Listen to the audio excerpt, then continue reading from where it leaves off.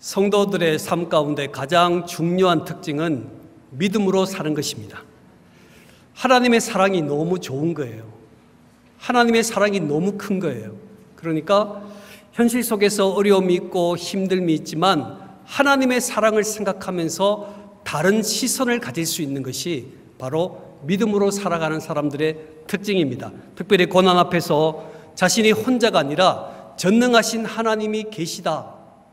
하나님은 나를 홀로 버려두지 않으시고 하나님 우리의 마음과 우리의 생각을 지키시는 분이시다라고 생각하며 믿음의 눈을 열어 고난과 아픔을 바라보는 힘을 가진 것이 바로 믿음의 사람들이 가지는 특징입니다. 하나님의 사람 엘리사가 수리아 군대가 자신들을 포위하고 있을 때 두려워하는 종 게하시에게 이렇게 말했습니다. 두려워하지 말라. 우리와 함께한 자가 그들과 함께한 자보다 많으니라. 그랬어요. 여러분, 우리 인생에 어떤 고난과 힘듦이 있을지라도 나를 지키시는 하나님이 더욱 크시다라는 사실을 생각할 때 우리는 믿음의 길을 걸을 수 있는 하나님의 백성이 됨을 저와 여러분이 믿으시기를 바랍니다. 자, 우리 옆 사람에게 인사하겠습니다. 하나님이 더 크십니다. 할렐루야. 그렇습니다. 본문은 하나님의 도성 예루살렘이 원수들에게 포위되었습니다. 그때 완전히 함락될 위기 속에서 하나님의 도우심으로 건진받았던 것을 기억하면서 이렇게 하나님에 대해서 고백하고 있습니다. 1절의 말씀이죠. 읽어보겠습니다. 1절 시작. 하나님은 우리의 피난처시요 힘이시니 한난 중에 만날 큰 도움이시라. 아멘. 아멘. 하나님은 우리의 피난처시고 힘이시다라는 것은 경고하시다라는 거예요. 하나님은 경고하시기 때문에 하나님께 피하면 우리의 인생에 희망이 있다. 하나님께 피하면 내 삶은 결코 무너지지 않는다라고 고백하고 또한 환란 날에 나를 도우실 힘이라고 말씀했습니다. 많은 자연재해가 있고 또 세계 급변한 세계 정세 가운데 대한민국이 흔들릴지라도 우리의 삶 가운데 많은 고난과 힘듦이 있을지라도 환란 중에 도움 되시는 분은 하나님이시라는 이 사실을 저와 여러분이 놓지 않을 때부터 우리의 생에는 놀라운 은혜와 축복을 가지고 살아갈 수 있게 되는 것입니다. 믿음으로 산다는 것은 막연하게 주일날 예배드리고 헌금하고 도덕적인 삶을 사는 것이 아닙니다. 믿음으로 산다라는 의미는 내 가운데 역사하시는 하나님을 붙잡는 것입니다. 언제요? 고난이 있을 때, 힘듦이 있을 때, 병중에 있을 때, 내 인생의 모든 것이 무너지는 근간의 아픔이 우리들의 인생 가운데 있을 때 전능하신 하나님을 붙잡고 하나님 내 인생을 지키시는 하나님, 하나님 아니면 안 됩니다. 하나님이셔야 합니다라고 고백하며 전능하신 하나님을 붙잡는 것이 바로 믿음으로 살아가는 사람들의 특징입니다. 하나님께서는 자신이 임재하는 성소인 강단을 중요하게 생각하십니다.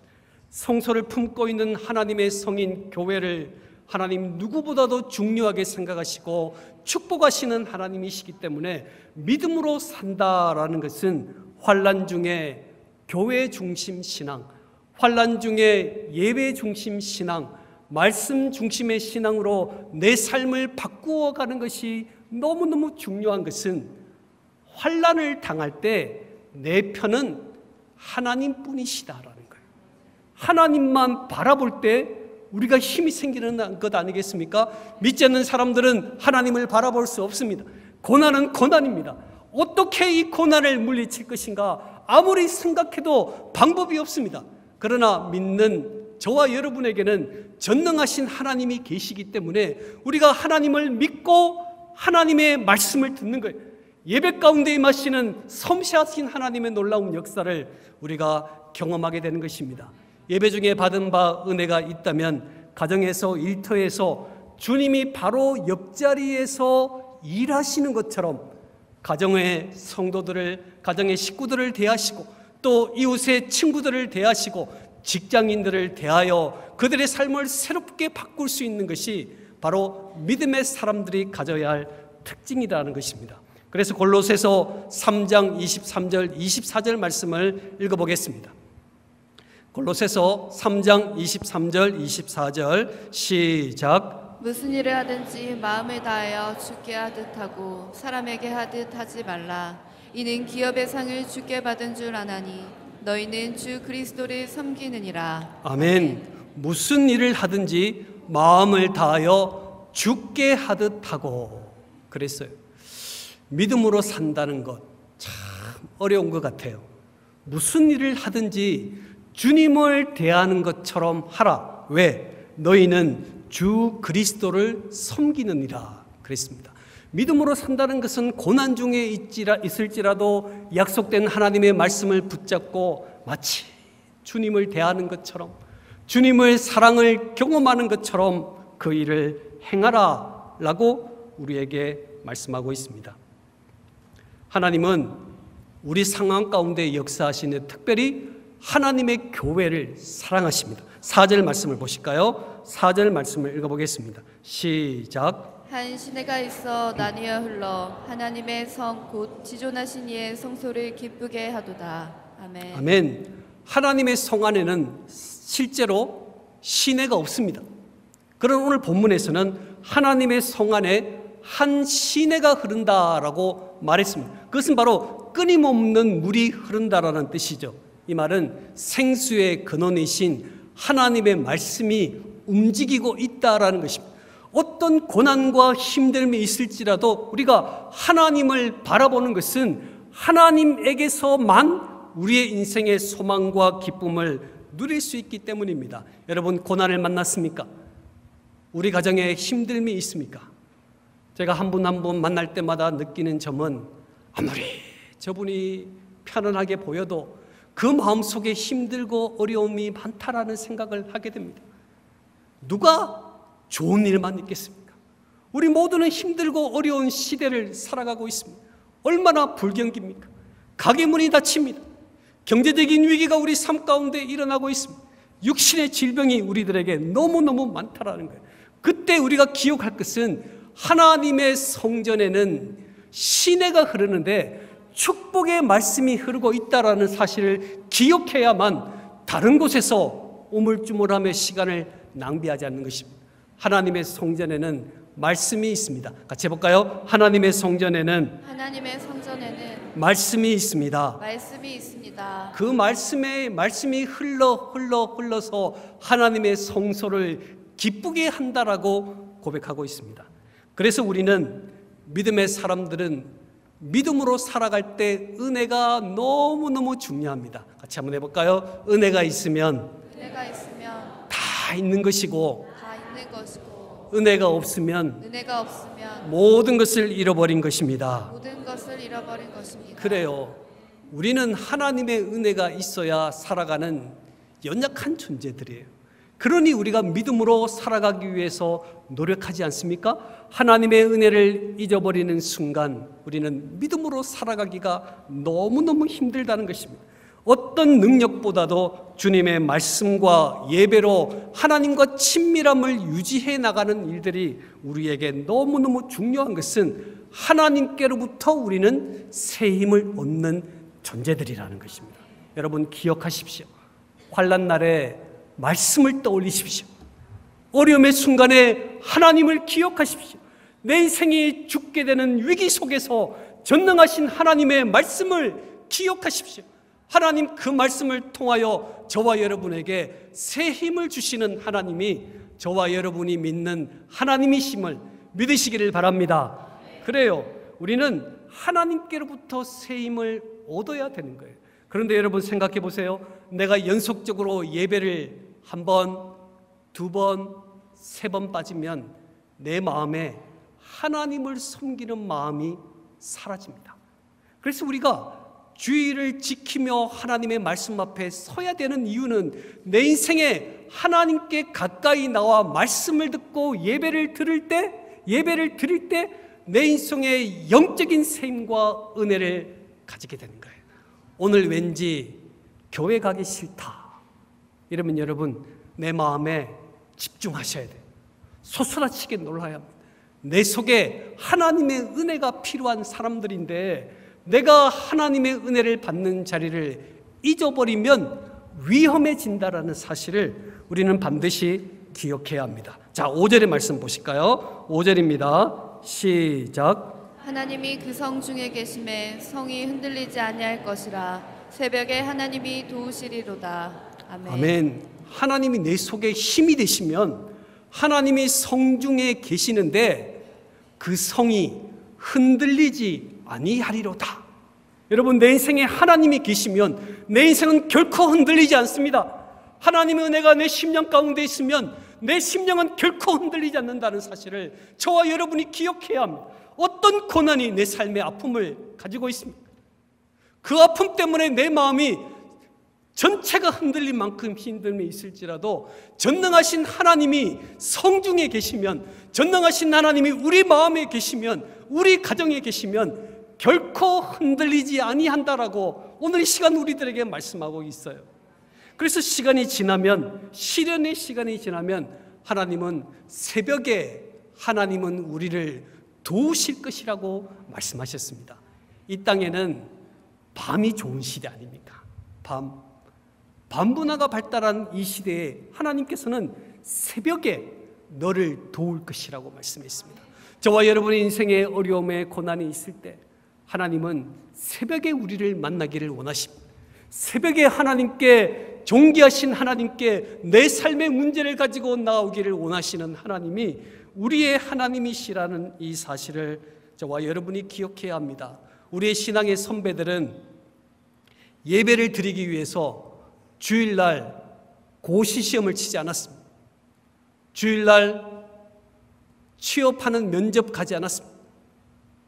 우리의 선배들은 예배와 하나님의 은혜를 지키기 위해서 주님의 말씀을 듣는 일에 전적인 힘을 모았습니다. 그래서 오늘 이 땅 가운데 대한민국 교회가 힘있게 서 있는 것 아니겠습니까? 여러분, 나를 위해 위하고 내가 피할 수 있는 성을 쌓는 시간이 아니라 전능하신 하나님 앞에 예배하는 일에 저와 여러분이 마음을 다할 수 있기를 바랍니다. 그때 하나님은 우리의 삶을 해결하시고 축복하시는 하나님인데 하나님이 어떻게 해결하시는가? 이게 진짜 중요합니다. 어떻게 해결하시는가? 6절 말씀 한번 읽어볼까요? 6절 시작. 문 나라가 떠들며 왕국이 흔들렸더니 그가 소리를 내심에 땅이 녹았도다. 아멘. 아멘. 보세요. 문 나라가 떠들고 왕국이 흔들렸더니 그랬어요. 떵떵거리는 힘이 있었는데 그가 하나님이 소리를 내심에 땅이 녹았도다. 그랬어요. 여러분 내 인생에 생각해 보면 북녘 땅을 생각해 보세요. 틈만 나면 버튼을 눌러서 우리를 위협하고 있습니다. 저거 어떻게 하면 좋을까? 저 북녘 땅을 어떻게 해결하면 좋을까라는 마음의 생각들을 해보게 됩니다. 그런데 오늘 본문에서 가만히 보면 문나라가 떠들며 왕국이 흔들렸더니 누가 하나님이 소리를 내셔서 이제 그만 적들이 떠드는 소리를 아무리 크게 내어서 땅이 흔들린 만큼 아픔이 있을지라도 오늘 우리의 사업의 문제가 뒤틀려서 아무것도 하지 못하는 상황 가운데 있을지라도 하나님이 이제 그만 하면 악한 모든 세력들은 한순간에 망해진다는 거예요. 북녘 땅도 한순간에 망해진다는 것입니다. 그리고 하나님의 성에 있는 하나님의 백성들은 축복을 얻는다라고 오늘 본문은 우리에게 말해주고 있습니다. 이스라엘 땅이 적군에 의해서 포위가 되어서 도저히 해결할 수 없는 상황 가운데서도 하나님의 때가 되니까 하나님께서 이제 그만 하니까 모든 것이 물러가고 하나님의 기쁨과 소망의 축복을 가지게 되는 것입니다. 이게 바로 하나님의 방법이라는 것입니다. 사랑하는 성도 여러분, 하나님의 방법은 우리의 생각과 너무 다릅니다. 하나님의 시간은 우리의 시간과 결코 같지 않습니다. 하나님은 하나님의 방법과 시간에 역사하셔서 우리의 삶의 모든 것을 이끌어 가시는 하나님이시기 때문에 우리 인생의 시련을 만날 때 방관하거나 포기하지 마세요. 목사님, 저희 가정은 안 되겠어요. 포기하지 마세요. 저 이제 병약해서 어떤 일도 할 수 없어요. 저 인생은 포기하고 싶어요. 여러분, 포기하지 마세요. 방관하지 마세요. 모든 인생의 문제는 하나님께 달려있기 때문에 하나님의 때를 기다리며 하나님이 하나님 되심을 선포할 때 부흥의 역사와 회복의 역사가 일어나는 줄 믿습니다. 네, 이 믿음 가지고 이 시대를 살아가야 한다는 거예요. 하나님이 하시면 됩니다. 같이 해볼까요? 하나님이 하시면 됩니다. 하나님이 하시면 됩니다. 그래요. 하나님이 하시면 됩니다. 하나님이 모든 것을 이끌어 가시면 반드시 되게 되어 있습니다. 오늘 7절의 말씀에 보면 망군의 여호와께서 우리와 함께 하시매.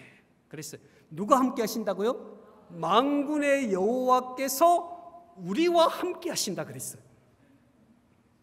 이 말을 들으면서 아, 그렇구나. 내 인생에 내가 주인이니까 하나님이 함께 하셔서 도와주시는구나. 이렇게 생각하면 믿음으로 살아가는 사람들이 아닙니다.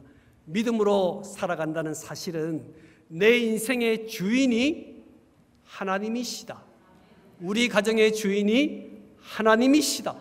우리의 직장의 주인이 하나님이시다. 사장님이 주님을 몰라도 여러분 담대함을 가지세요. 우리 직장의 주인은 하나님이시다. 우리 가정의 남편과 아내가 주님을 잘 모르고 부모가 주님을 잘 모른다 할지라도 우리 가정의 주인은 하나님이시다. 에덴 교회의 주인은 하나님이시다. 한국 교회의 주인은 하나님이시다. 네, 아멘이 약합니다. 하나님이십니다. 그래요. 망군의 여호와께서 우리와 함께 하신다는 것은 하나님이 주인이라는 거예요. 하나님이 주인이래요. 내 인생의 주인이 내가 아니라 하나님이 그저 내 인생을 돕는 분이 아니라 전능하신 하나님이 우리 인생의 주인이시라고 고백하는 순간 우리의 삶에는 소망과 희망이 생기게 되는 것입니다. 내 삶엔 내가 주인이니까 내가 포기하죠. 내가 연약하니까 내가 포기하는 거예요. 하나님, 우리 물질의 문제가 우리 가정을 덮치고 있으니, 우리 자녀의 문제가 내 가정을 덮치고 있으니, 내가 아무리 생각하고 내가 아무리 고민해도 해결할 수 없습니다. 여러분, 믿음으로 살아가는 것은 내가 내 인생의 주인이 아니라는 것입니다. 망군의 여호와께서 내 인생의 주인이심을 기억하면서부터 우리는 믿음의 온전한 길을 걸어갈 수 있습니다. 우리 교회 한국 교회 현실을 아주 암담합니다. 다음 세대가 사라지고 있습니다. 젊은이들이 교회를 떠나고 있습니다. 사람들은 세상의 영향력 속에 허우적됨에 살아가고 있습니다.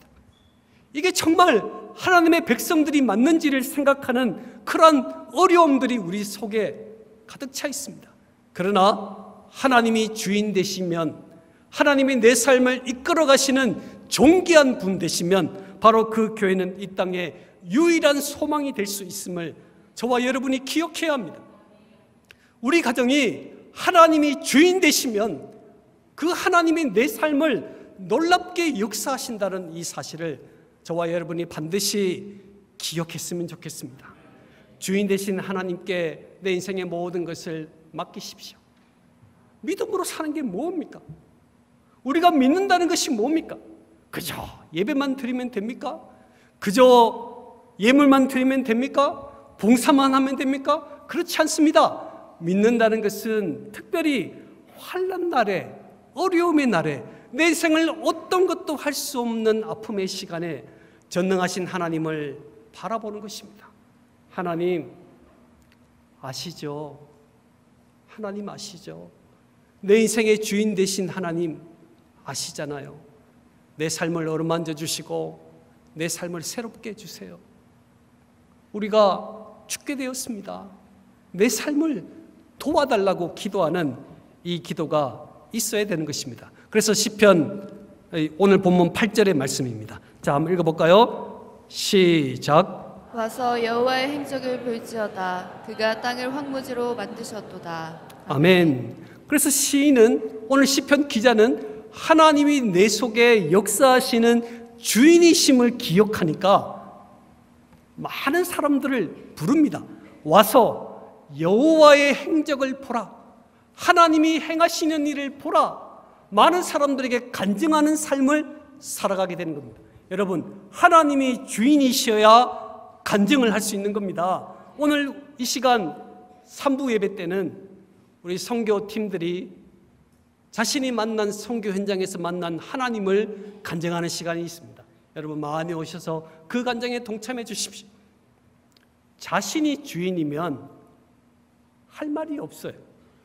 그러나 하나님이 주인이시기 때문에 와서 여호와께서 행하시는 일을 보십시오. 와서 하나님이 어떤 분이신지를 보십시오라고 고백하며 말할 수 있는 것입니다. 믿음으로 산다는 것은요, 자기 혼자 느끼는 하나님이 아니고 내가 느끼고 만난 하나님이 어떤 분이신지를 내가 만나는 사람들에게 말하기 시작하면서 우리는 믿음으로 살아가는 그 길을 걸어갈 수가 있습니다. 10절의 말씀도 보실까요? 10절입니다. 시작. 이르시기를 너희는 가만히 있어 내가 하나님 됨을 알지어다 내가 문 나라 중에서 높임을 받으리니 내가 세계 중에서 높임을 받으리라 하시도다 아멘. 그렇습니다. 그래서 수많은 사람들에게 간증하며 살아가면서 믿음의 사람들을 향해서는 홍해 앞에 모세가 홍해를 건넜던 시간들을 회상하면서 하나님 앞에 외칩니다. 많은 성도들 앞에 외칩니다. 너희는 가만히 있어 하나님을 의지하라. 너희는 가만히 있어 내가 하나님 됨을 알지어다. 라고 말하고 있습니다. 가만히 있으라는 겁니다. 너희는 가만히 있어. 여러분, 내 인생의 주인이 하나님이실 때 우리는 가만히 하나님을 바라볼 수 있습니다. 너희는 가만히 있어. 너희는 가만히 있어. 어떤 수단과 방법으로 모든 것을 하는 것이 아니라 너희는 가만히 있어서 하나님을 묵상하라. 그 하나님이 어떤 분이시고 내 삶에 어떤 역사를 베푸신 하나님이신지를 너희는 가만히 있어서 하나님을 묵상하라. 하나님을 의지하라. 그러면 내 하나님이 너의 하나님이 되실 것이라고 오늘 시편 기자는 우리들에게 말씀하고 있습니다. 가만히 있어야 한다는 거예요. 가만히. 내가 내 인생의 주인이면 얼마나 바쁜지 몰라요. 고난을 만나면 너무너무 바빠요. 그러나 하나님이 주인이시면 가만히 있게 됩니다. 하나님을 묵상하게 됩니다. 그러나 그 하나님이 내가 묵상하는 그 하나님이 내 삶을 돌보시고 은혜로 내 삶의 가장 좋은 것으로 내 삶을 인도하시는 하나님이 우리의 하나님이십니다. 여러분 신앙생활 우리가 같이 하고 있습니다. 어떤 분들은 태어날 때부터 신앙을 가지며 살아가신 분도 있고 최근에 신앙을 믿고 하나님 앞에 서가는 하나님의 백성들이 있습니다.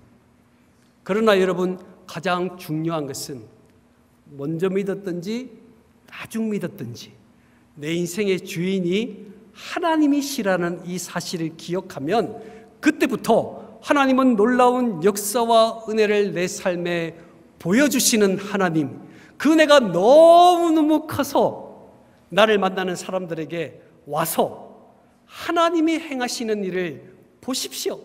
저를 보십시오. 하나님이 내 삶에 얼마나 놀라운 일로 축복하시는지를 보라고 말할 수 있는 인생으로 살아갈 수 있게 되는 것입니다. 저희들은 47년 된 에덴 교회에 서 있습니다. 참으로 에덴 교회 어렵고 힘든 일 많았습니다. 여기까지 오기가 기적적인 일로 이 자리에 서 있습니다. 오늘 하나님은 믿음으로 살아가는 저와 여러분에게 동일하게 말씀하고 있습니다. 결코 홀로 너희들을 버려두지 않겠다. 하나님께서는 우리들에게 약속하고 있습니다. 어렵고 힘든 일을 만났으면 여러분 결코 혼자가 아닙니다. 나 혼자 어려움의 길을 걷는 것이 아닙니다. 전능하신 하나님이 나를 꼭 붙잡아 주시는 그 모습을 영의 눈으로 바라볼 때 우리는 믿음의 온전한 길을 걸을 수 있습니다. 내 인생의 주인이 누구시라고요? 하나님이시라. 우리 삶의 주인이 하나님이십니다. 우리 에덴 교회의 주인이 하나님이십니다. 어떤 이도 주인이 될 수 없습니다. 그 하나님, 온전하신 하나님을 여러분 마지막까지 온전히 믿으시고 하나님이 저와 여러분을 부르시는 날에 정말 주님 앞에 서서 주님, 저는 믿음으로 살았습니다. 믿음의 길을 온전히 걷다가 주님 앞에 섰습니다. 이 한마디의 말이 우리 인생에 필요한 것입니다.